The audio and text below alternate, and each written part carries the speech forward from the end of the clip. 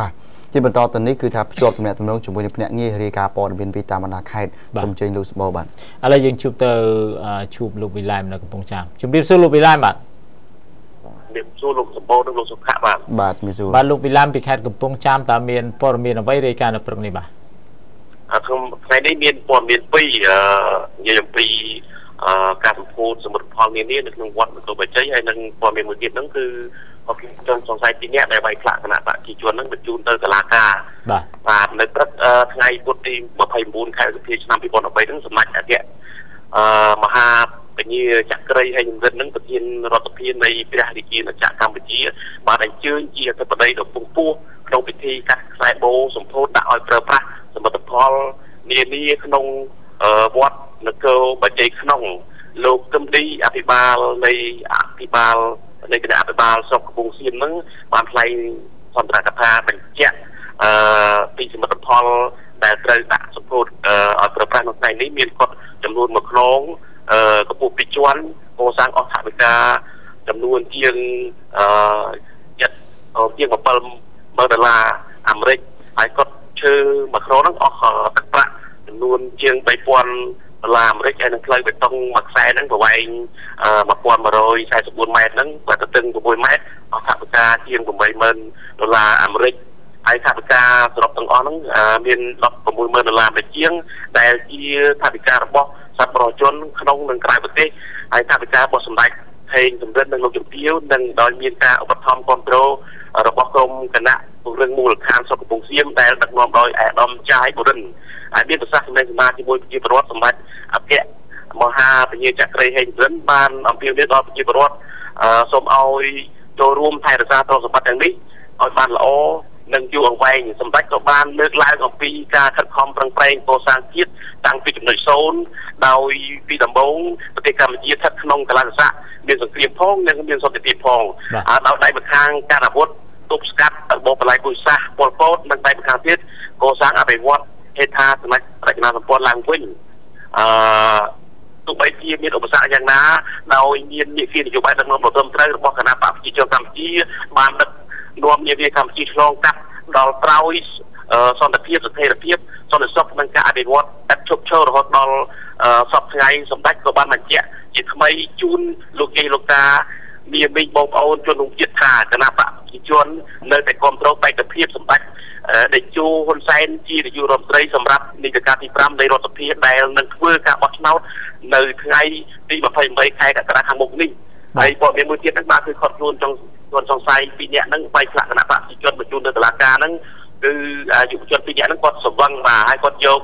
ពនុងរស័យហ្នឹងទៅវាយផ្លាក់គណៈបព្វជិជនចំនួន2ប្រនងទៅសមត្ថកិច្ចហ្នឹងបាទកពុយកោបញ្ជូនទៅស្នងការនគរបាល ខេត្តកំពង់ចាមហើយបើតាមតែដឹងពីលោកនេះប៉ុកម៉ៅហួតហ្នឹងបានដឹងថានៅវេលាម៉ោង23ហ្នឹងគឺបានកម្លាំងសមត្ថកិច្ចហ្នឹងបានអត់ខ្លួនសង្ស័យចំនួន2នាក់មួយគឺឈ្មោះអឺសឿងម៉ៅហើយនិងមួយទៀតហ្នឹងគឺឈ្មោះអឺពេជ្រក្រុងហើយអ្នកទាំងពីរហ្នឹងត្រូវបានសមត្ថកិច្ចពោហ្នឹងបញ្ជូនទៅអធិការឋាន ស្រុកព្រៃឈរហ្នឹងហើយអធិការឋានហ្នឹងក៏បានបញ្ជូនទៅស្នងការទៀតដោយ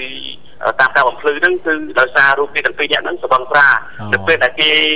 ទាំងពីរនាក់ហ្នឹងចេញពីនៅក្នុងពិធីអឺរំវងនៅក្នុងភូមិហ្នឹងគេត្រឡប់ចេញមកវិញហ្នឹងគេបានរើសក្នុងអស័យហ្នឹងទៅទៅវាយផ្លាកគណៈបកអឺនេះជាសកម្មភាពបំពេញកំផ្លាញទ្រព្យសម្បត្តិអ្នកដទៃហ្នឹងបាទអាដូចនេះសមត្ថកិច្ចចាប់ខ្លួនបញ្ជូនទៅអធិការឋានដើម្បីបញ្ជូនទៅសងការនិងបញ្ជូនទៅអឺសាលាដំបងខេត្តទៀតចាត់ការតាមនីតិវិធីបាទបាទអរគុណច្រើនលោកវិលែមដែលបានធ្វើសេចក្តីវិរិយការចំនួន2រឿងជំរាបលាលោកវិលែមបាទ បាទមុននឹងជួបជាមួយលោកសុភាដែលប្រចាំការនៅខេត្តកណ្ដាលនិងខេត្តកំពង់ស្ពឺសូមអនុញ្ញាតបញ្ជាក់បន្ថែមពាក់ព័ន្ធទៅនឹងការបំផ្លិចបំផ្លាញទ្រព្យសម្បត្តិរបស់បុគ្គលឯកជនឬក៏ទ្រព្យសម្បត្តិរដ្ឋបាទនៅក្នុងករណីនេះយើងឃើញថាជាការបំផ្លាញបំផ្លាញឲ្យដោយចេតនាចំពោះទ្រព្យសម្បត្តិឯកជនមិនមែនជាទ្រព្យសម្បត្តិរដ្ឋទេទ្រព្យសម្បត្តិឯកជនអញ្ចឹងនៅក្នុងអឺ ច្បាប់ព្រហ្មទណ្ឌហ្នឹងវាមានបទល្មើសមួយគេចែងថាបទធ្វើឲ្យខូចខាតដោយចេតនាដែលមានចែងនៅក្នុងមាត្រា410បាទបងប្អូនអាចបើកមើលហើយអាចប្រឈមមុខនឹងការជាប់ពន្ធនាគារពី6ខែរហូតដល់2ឆ្នាំនឹងពិន័យជាប្រាក់ពី1លានរៀលរហូតដល់4លានរៀល បើសិនជាគេគិតថានេះជាការបង្កឲ្យខូចខាតដោយចេតនាទ្រង់ទ្រាយតូចឬក៏ស្រាលគេអាចនឹងសម្រេចទៅតាមឆន្ទានុសិទ្ធិការសម្រេចរបស់ចៅក្រមណាប៉ុន្តែវាមានមាត្រា411ទៀតនោះគឺថាការប្រព្រឹត្តបទល្មើសធ្វើឲ្យខូចខាតដោយចេតនាដោយមានគ្នាច្រើនវាគឺជាស្ថានទម្ងន់ទោសទៅទៀតអញ្ចឹងទុកឲ្យតុលាការជាអ្នកសម្រេចដែរដូច្នេះបងប្អូនបងបងកុំប៉ះពាល់ទ្រព្យសម្បត្តិឯកជនទ្រព្យសម្បត្តិប្រភេទណាក៏ដោយសិតតែជារឿងដែលត្រូវទទួលខុសត្រូវរឿងព្រមមិនទាន់គឺជាប់ពន្ធនាគារនិងពាណិជ្ជប្រាក់ហើយរឿងសវឹងនេះសូមបញ្ជាក់បន្ថែមខ្លីបើយើងសវឹងហើយយើងដើរស្រែកលោឡានៅតាមផ្លូវសាធារណៈមានបទល្មើសមួយទៀតគឺបទស្រវឹងជាក់ស្ដែងដែលប្រឈមមុខនឹងការពិន័យជាប្រាក់ពី5000រៀលរហូតដល់10000រៀលនៅក្នុងក្រមព្រំមិនទាន់បាទអរគុណលោកស្មូឥឡូវយើងនេះទៅជួបលោកសុភាពីខេត្តកំពង់ស្ពឺលោកសុខាបាទបាទលោកសុភាជំរាបសួរបាទជំរាបសួរលោកសម្បូរជំរាបសួរលោកសុខាបាទបាទលោកសុភាមានព័ត៌មានអ្វីរាយការណ៍ថ្ងៃនេះបាទ បាទថ្ងៃនេះខ្ញុំមានព័ត៌មានមួយតទៅនឹងបរិះដល់លោកសិទ្ធិម្នាក់នោះចងកសម្រាប់ខ្លួនក្នុងផ្ទះសំណាក់ដោយមិនដឹងមូលហេតុបាទបាទសូមជើញបាទបាទបរិះម្នាក់ត្រូវបានគេប្រទះឃើញចងកស្លាប់នៅក្នុងបន្ទប់ផ្ទះសំណាក់យេហៅផេងលីស្ថិតក្នុងភូមិពាណិជ្ជកម្មសង្កាត់រកាធំក្រុងច្បារមនខេត្តកំពង់ស្ពឺបង្កឲ្យមានការភ្ញាក់ផ្អើលដល់ម្ចាស់ផ្ទះនិងសមត្ថកិច្ចមូលដ្ឋានបាទបាទព័ត៌មានពីសមត្ថកិច្ចបានឲ្យដឹងថានៅពេលវេលាដែលខាងលើ បាទនៅថ្ងៃទី28ខែឧសភាវេលាម៉ោង3រសៀលនោះបាទពួកគាត់បានទទួលព័ត៌មានពីម្ចាស់ផ្ទះអំពីករណីនេះសមាជិកកិច្ចក៏បានចុះទៅត្រួតពិនិត្យឃើញជនរងគ្រោះស្លាប់ដោយខ្សែដោយមានខ្សែគោចងកជាប់ជាមួយនឹងខ្សែរដូវបង្អួចបាទព័ត៌មានបានបន្តថានៅក្នុងបន្ទប់សមត្ថកិច្ចរកឃើញផ្លែមង្ឃុត និងស្ករសមួយចំនួនរួមទាំងសៀវភៅមួយក្បាលដែលបានសរសេរនៅលេខទូរស័ព្ទក្រុមគ្រួសារនិងពាក្យថារតនាស្រឡាញ់រំដួលណាស់ដែលទំនងជាជនរងគ្រោះសរសេរទុកមុនពេលធ្វើអត្តឃាតបាទក្រោយពីសមត្ថកិច្ចធ្វើកសលវិច័យអឺដឹងថាការស្លាប់នោះគឺដោយសារការធ្វើអត្តឃាតពិតប្រាកដមែនបាទតែក្រុមគ្រួសារក៏បានឲ្យដឹងថាជនរងគ្រោះនោះឈ្មោះហ៊ុនរតនាអាយុ22ឆ្នាំរស់នៅ ផ្ទះលេខ151ក្នុងភូមិទួលសង្កែសង្កាត់ទួលសង្កែខណ្ឌរសីកែវ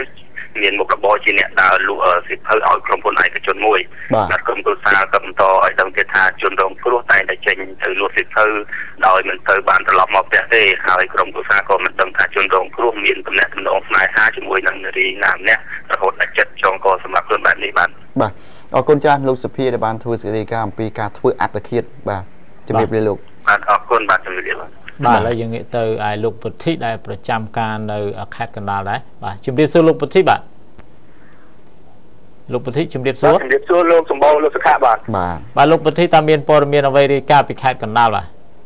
បាទថ្ងៃនេះសូមរាយការណ៍ពីខេត្តកណ្ដាលផ្សព្វផ្សាយការងារសាងសង់ប្លង់គោប្រើប្រាស់ដីបាទបាទសូមបបត្តិព័ត៌មានលោកខ្ញុំកនប្រធានទីរៀបចំដែនដីនគររូបនីយកម្មសំណង់និងសុលយោដីខេត្តកណ្ដាលបានថ្លែងថាការរៀបចំ ដែនដីនគររូបនីយកម្មគឺជាកិច្ចការមួយដ៏សំខាន់ក្នុងការចូលរួមអភិវឌ្ឍមូលដ្ឋានដែលសង្គមជាតិធានាបាននៅនិរន្តរភាពដ៏យូរអង្វែងហើយខេត្តកណ្ដាលអាចជាប្រភពធនធានអតិភិបខ្ពស់ក្នុងការឆ្លើយតបនៅតម្រូវការចាំបាច់នេះប្រសិនបើយើងព្យាយាមរៀបចំផែនការសម្របសម្រួលដើម្បីចាប់យកឱកាសនោះ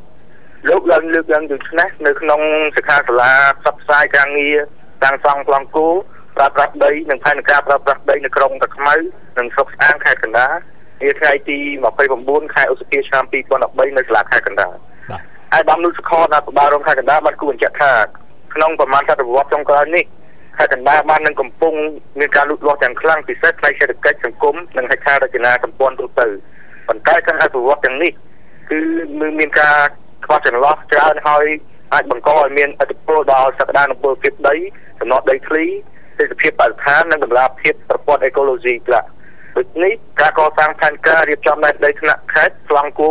និងផែនការប្រើប្រាស់ដីថ្នាក់ស្រុកក្រុងគឺជាដំណើរការដ៏សំខាន់ដែលមិនអាចខ្វះបានដើម្បីឆ្លើយតបទៅនឹងការអភិវឌ្ឍនៃសេដ្ឋកិច្ចទីផ្សារសេរីក្នុងកម្រិតជាតិនាពេលបច្ចុប្បន្ននិងទៅអនាគតមកបាទបាទចំពោះសេចក្តីរាយការណ៍របស់ខ្ញុំសូមបញ្ចប់ប្រសិននេះបាទសូមអរគុណបាទបាទអរគុណជម្រាបលាលោកពុទ្ធិបាទបាទបាទ ទូរទស្សនិកជនជាទីមេត្រីពេលនេះយើងខ្ញុំសូមអនុញ្ញាតសម្រាប់មួយផ្លែសិនបន្តិចទៀតនឹងភ្ជាប់ទំនាក់ទំនងជាមួយភ្នាក់ងាររាយការណ៍ព័ត៌មានជាបន្តទៀតបាទបាទ